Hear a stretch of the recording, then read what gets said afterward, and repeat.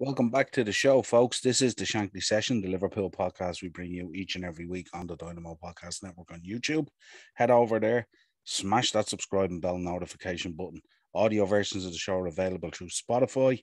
And if you'd like to contact the show, you'll get us on Twitter at Sessions Shankly or on Facebook and Instagram, the upper tier. This is your Liverpool versus Atletico Madrid preview massive game coming up this week for Liverpool, especially on the back of a poor performance against Brighton at the weekend. But we'll get into this now. Liverpool have an opportunity to basically solidify their position at the top of the group and also qualify for the next round, looking like they'll be winners of the group if they could run out winners this Wednesday under the lights on Anfield, eight o'clock. Let's have a look at their current form. Liverpool in the Champions League, as we know, three wins from three. Um, Atletico in the Champions League, a draw, a win, and a loss. The loss coming at the the Wanda against us. Um, so they'll have a point to prove as well. They'll want to, uh, you know, fix up for that loss. They'll want to try and do their best to get back in there and put themselves back in a, a strong position in the group. Um, but safe to say, Liverpool will try and battle against this. Let's get into some team news. Liverpool Naby Keita, as we know, was out, picked up an injury at the weekend there. Brighton had to go off. Milner out at the moment as well. And obviously, Harvey Elliott, we can see that the progress that he's making is coming along nicely, but not near ready to come back yet. Good news coming in today, though, is Thiago and Fabinho are in contention for the game, which is massive considering the midfield we went with on Saturday and how easy Brighton tore it apart. Um, Jota could replace Firmino, who again had a poor game against Brighton. Um, Ox and Curtis will probably drop to the bench after poor performances against Brighton. Um, for Atletico, we know that Griezmann is out, picked up the red card in the, the first game. Stefan Savić is still serving a ban as well. Llorente looks like he'll be past fit for the encounter. Thomas Lemar looks like he's been ruled out by Simeone. And Geoffrey Kondogbia remains doubtful due to a concussion. Felipe could join Jose Gimenez and Hermoso in the back three if Kondogbia doesn't recover from that concussion. Um, and it's looking like Correa, Joe Felix, and Luis Suarez should all feature up top in Griezmann's absence. Uh, what a front three! Absolutely outstanding.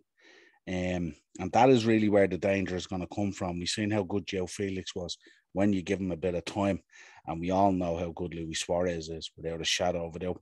But the boy Correa is an absolutely baller as well, you know, so he'll present a lot of danger um, in terms of predicted lineups, looking at Liverpool, the thinking at the moment is Alisson, Alexander Arnold, Matip, Van Dijk. Matip coming back into the team without a shadow of a doubt to solidify that back line.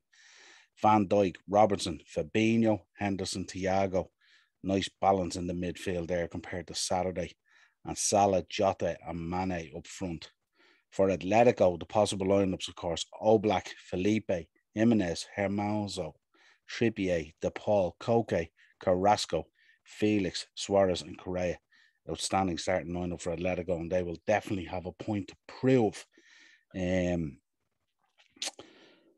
I suppose this is a huge game for both teams in terms of their position at the moment. I mean, the group looks um, Liverpool top of it, of course, but of course, anything can happen in these kind of middle games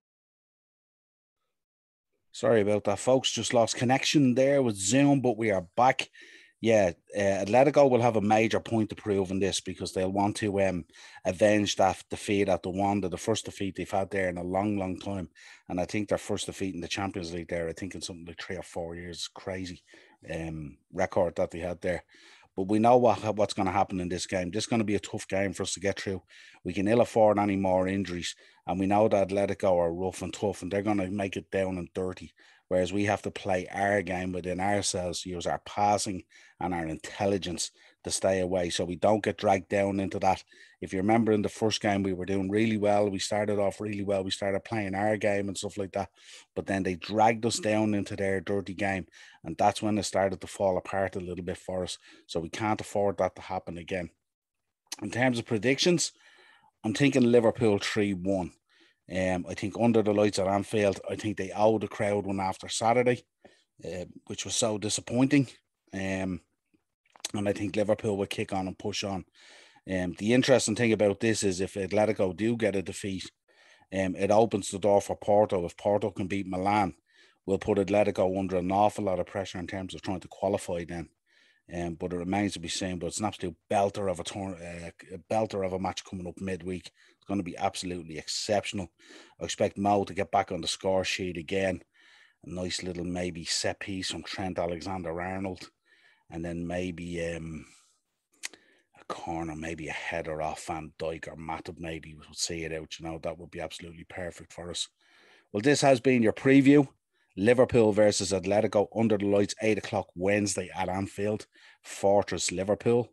As always, head over to YouTube, Dynamo Podcast Network. That's where you'll find all the shows on the upper tier, the Shankly Sessions. And there's a new podcast out there now, a new Man United one, the Red Devils Report. Ted is hosting that along with Darren and with Greg. Check that out as well. Definitely worth to check out. The boys know their stuff, but they're down the middle. They're not your typical United fans. They call it as they see it. Um, so go over there, try and enjoy that. Give the guys the support as well.